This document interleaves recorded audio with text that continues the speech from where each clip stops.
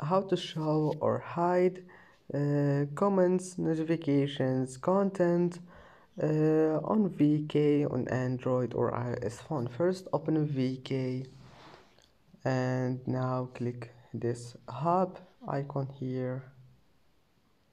And now click this three lines and then settings. And once you're here click notifications scroll down until you find comments.